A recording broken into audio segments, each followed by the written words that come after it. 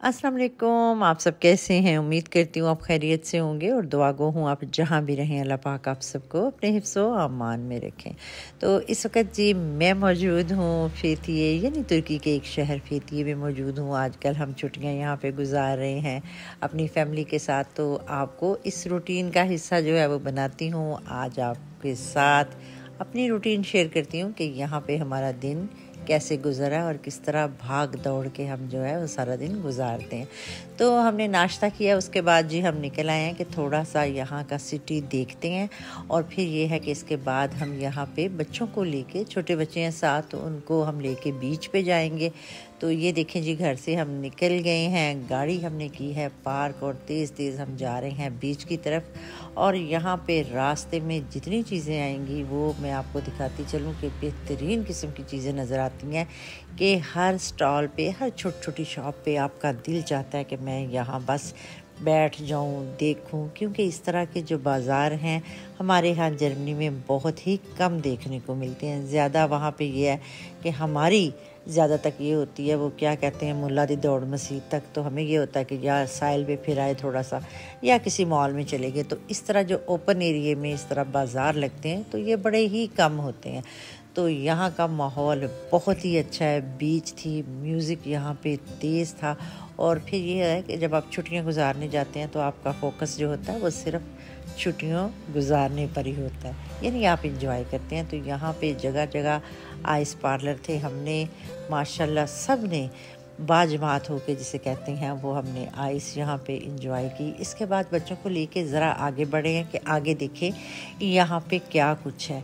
तो जहाँ भी हम जा रहे थे, तकरीबन चार पाँच शॉप्स छोड़ते थे, फिर उसके बाद एक आइस की ऐसी ही छोटी छोटी शॉप्स या छोटे छोटे स्टॉल लगाए, नज़र आ जाते थे। और जब बच्चे आपके साथ हों तो यकीन करें कि आइस से उनका दिल जो है, वो कभी नहीं भरता। ये देखें, फिर से एक जो है, वो आइस पार्लर आ गया। और यहाँ पे वो बड़ा ही ट्रेडिशनल सा बन गया है। वो किसी बच्चे को जो आइस दे के तो वो उनको घुमाते हैं ज़रा पाँच छः मिनट के लिए।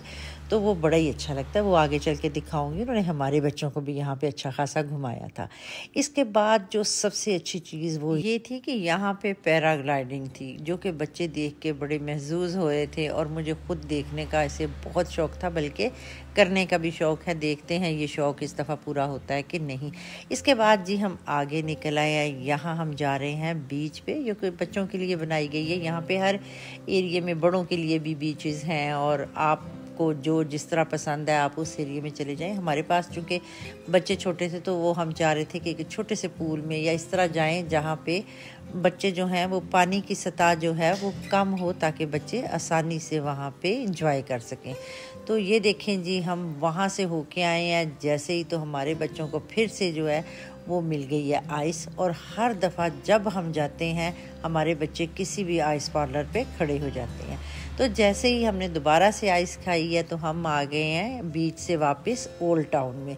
क्योंकि ये था कि अगर वहाँ पे आप एक या दो घंटे स्पेंड करते हैं तो इसके बाद आपको रात का खाना खाना होता है। यानी कि लंच और डिनर जो है हमारे आजकल वो बाहर ही हो रहे हैं। सिर्फ़ ब्रेकफास्ट जो है, वो हम घर से बना के ख़ुद खा के आते हैं, क्योंकि यहाँ पे हमने कोई होटल नहीं लिया हुआ। यहाँ पे हम इस वक्त विला में मौजूद हैं, जहाँ हर किस्म की सहूलियात जो है वो मौजूद हैं।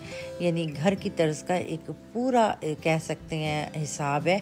हमें किसी चीज़ की कमी नहीं है तो घर में हम ये है कि ख़ुद ख़रीदते हैं चीज़ें और ला के नाश्ता खुद बना लेते हैं। तो ये तो होगी जी एक बात, वो आगे चल के मैं आपको इन घर भी दिखाऊँगी।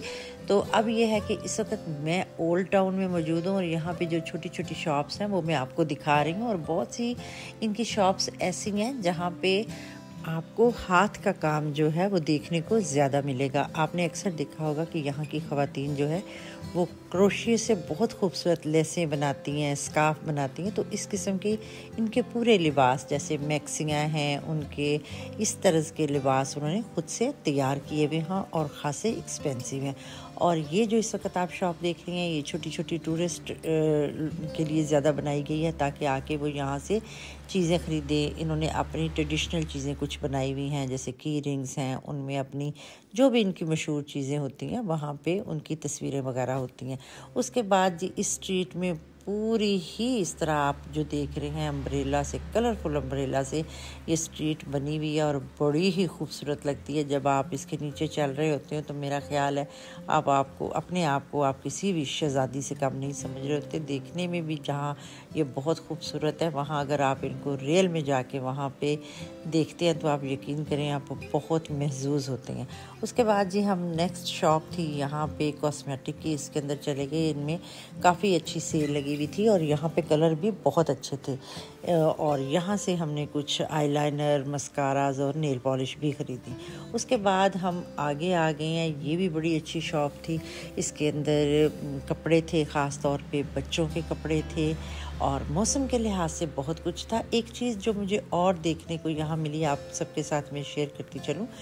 यहाँ पे जहाँ भी मैंने एसी वाली कोई भी बड़ा मॉल देखा, कोई बड़ी शॉप देखी तो वहाँ पे जो डॉगी होते हैं, वो सेंटर में जाके आराम से लेटे हुए होते हैं। या अगर आप जाते हैं किसी शॉप में तो वो स्टार्ट में लेटे होते हैं, जहाँ पे एसी होता है। यानी जानवरों को कोई रोक टोक नहीं है, वो आराम से वहाँ एसी के नीचे आराम कर रहे थे और मुझे बड़ा ही अच्छा लगा कि इनमें कितनी ज़्यादा इंसानियत है। बहरहाल यहाँ जब भी जाते हैं, कोई ना कोई अच्छी चीज़ देखने को हमेशा हमें मिलती है।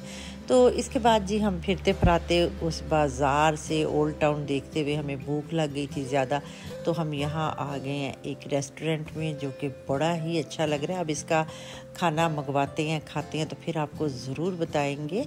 और ये देखें, इस वक्त हम टेबल पे बैठ चुके हैं और अपना मेन्यू हमने सेलेक्ट करके उनको दे दिया है। तो वो अब गाहे बगाहे जैसे खाना तैयार हो रहा है तो वो साथ साथ लेके आ रहे हैं। बहरहाल, यहाँ पे हम अपना खाना इंजॉय कर रहे थे, जो कि काफ़ी अच्छा लग रहा था। और जब हमने इसे यकीन करें टेस्ट किया तो वाकई जो है, हमें जो भूख लगी हुई थी, हमें खाना खाने का मज़ा आ गया। दूसरी बात ये थी कि बच्चों को भी खाना पसंद आया। तो यहाँ पे होता है जी, आज का मेरा वीलॉग ख़त्म। मिलते हैं आपको नेक्स्ट वीलॉग में। चैनल को सब्सक्राइब करिए। अल्लाह हाफिज़।